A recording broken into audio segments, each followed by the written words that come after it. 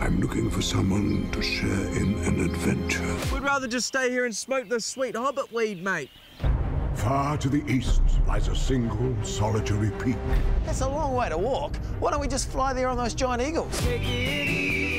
No. Ah, fucking Gandalf. Allow me to introduce Thorin Oakenshield. Dungeons, dungeons deep and Oh, Gandalf, your hair is so silky.